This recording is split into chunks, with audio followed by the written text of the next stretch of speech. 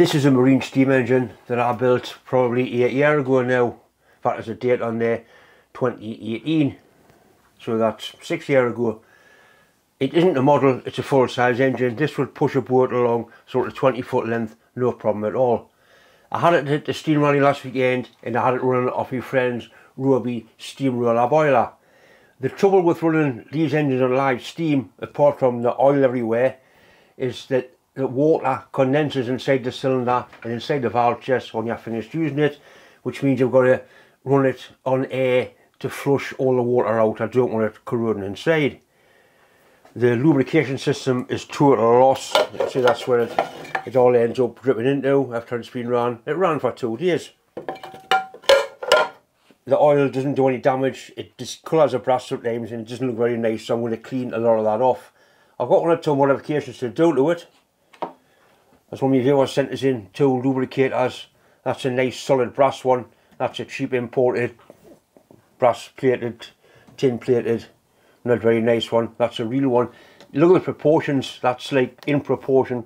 That's not. So I'm going to change that out. There's also an elbow on the steam pipe. I found a nice bronze elbow. I'm going to change it for that. The first thing I want to do is put some compressed air into it and run it and try and get some of the water out of the cylinder. Then put some oil in and run it again to get it nicely oiled inside. I might take the cylinder cover off and have a look inside and also the valve chest I haven't had a look in there for ages and this has done quite a lot of running. This is not ideal but it'll get as well I need to be. That's a parallel thread, it should be a taper thread in there but I'm sure it'll be alright for what I need to do to it or with it.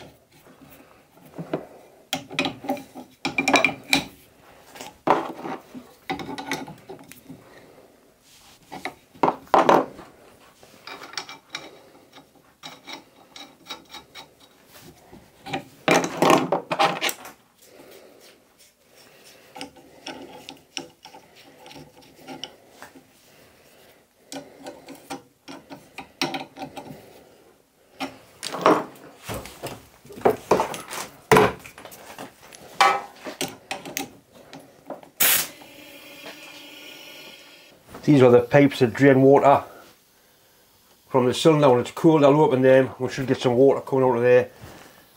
Once it runs, we'll put it into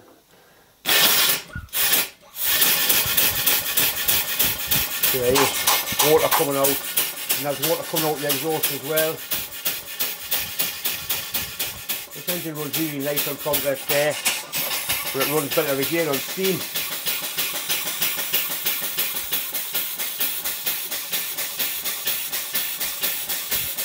This little valve on top of here simply allows you to get some oil directly into the cylinder. This is just 1040 car engine oil just to stop it from corroding inside. Whoop. Steam engines are messy bastard things. Oh, maybe it's the messy bastard thing. Right. Well, ideally you want to run it and you want to see oil coming out of the exhaust. That's the, the way it needs to be.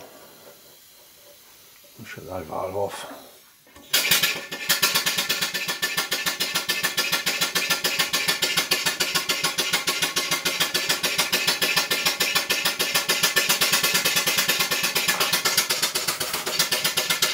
Still getting moist out of the exhaust.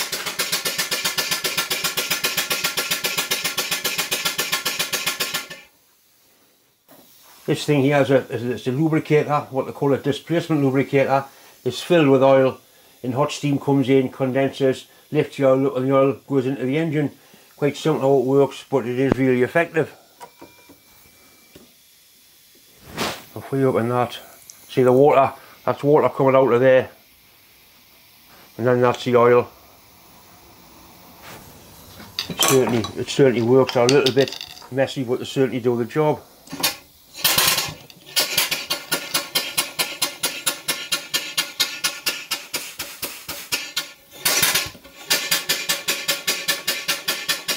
The engine is reversible. And also notch it up to save steam. That's over here, so instant reverse, beauty of the steam engine.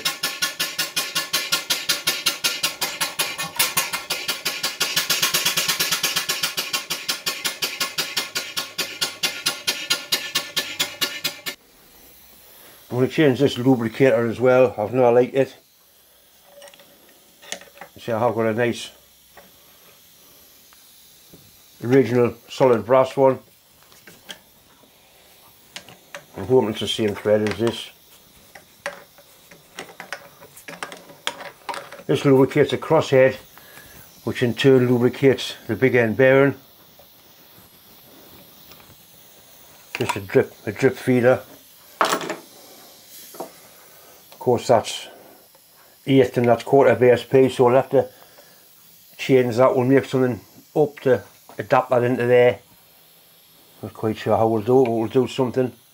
Make a little adapter for that.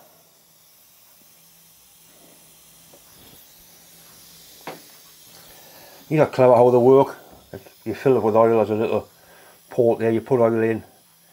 And the way it is there, the valve's closed, there's a little spring with a needle valve that's closed. When you do that with it, it lifts the valve up and the oil drips and you can see it dripping through that glass there. And depending on how how you have that screwed up depends how much or how little oil drips through.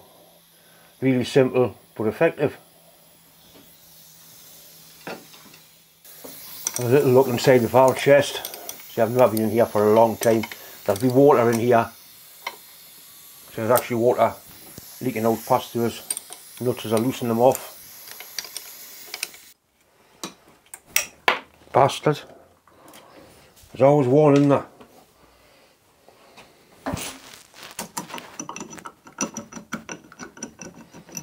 Right, so that's a, a slide valve in there.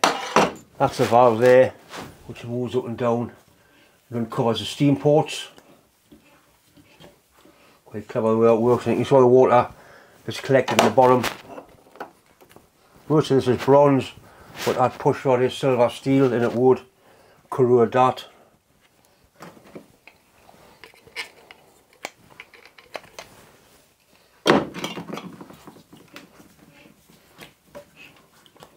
What I have got is a piece of perspex that I made ages ago to show how the, the valve worked. I can put steam on it, or air on it, and show see how the valve works. I clamp that on and put some nuts on to hold it in place and you'll be able to see the valve moving up and down as the engine actually runs and you'll get some idea of how it works.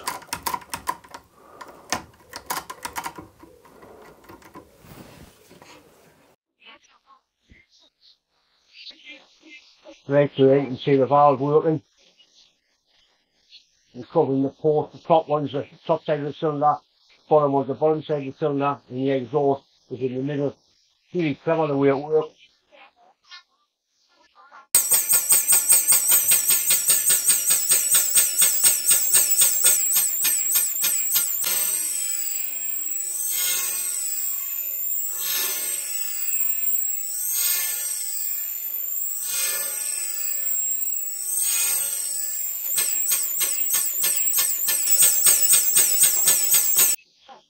The seals on the port here by the, the pressure of the steam, in this case the compressor inside of this.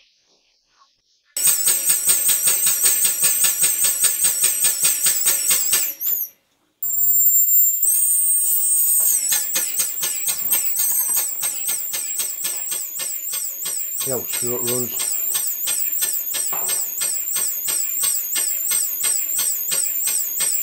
This valve linkage here is called Stephenson Link used on a lot of steam engine applications like this. There's books and books written on valve gear and valve timing on steam engines.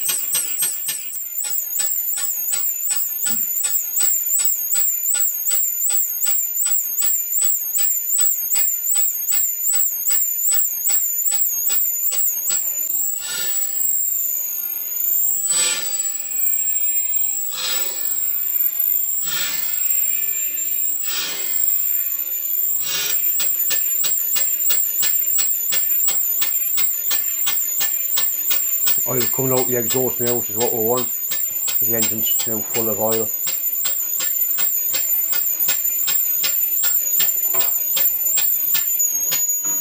These are the oilers for the main bearings. Oil boxes. Little oilers there on your centrics they're what we hook the valves.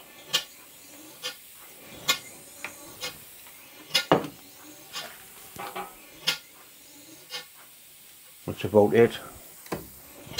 Make it a little bit more. But basically, that's running on next to no oil pressure at all. Or rather steam pressure. Now it's just a case of a little bit brake cleaner, wipe the thickest of the oil off and re-oil this. Then it's ready to be used again, which I think will be in three weeks time. It's just a Light Street steam rally. I'll get some film of it. Running on steam there. And my turning those columns, I actually tapered. It's the first time I had a good taper turning between centres.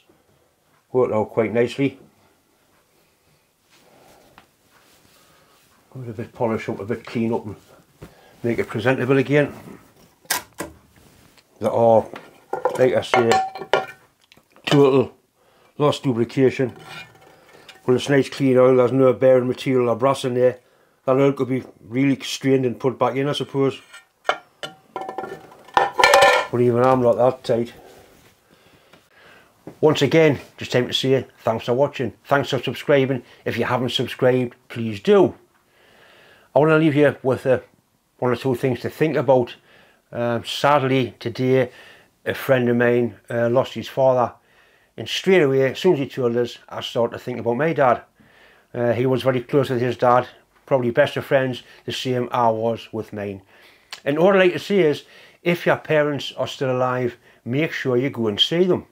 Uh, not in a month's time, try and go now or tomorrow. It is important because one of these days you just won't be able to go and see them. Anyway, thanks for watching.